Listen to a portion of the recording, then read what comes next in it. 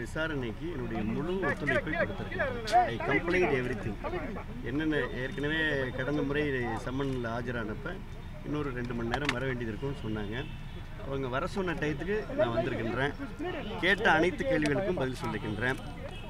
உங்கள்கிட்ட குறிப்பாக நான் என்ன சொல்லணும் அப்படின்னா என்னை பற்றி தொடர்ந்து ஊடகங்கள்லையும் பல பல பேர் பலவிதமாக பேசிக் கொண்டிருக்கின்ற அனைத்து வதந்திகளுக்கும் நான் முற்றுப்புள்ளி வைத்திருக்கின்றேன்.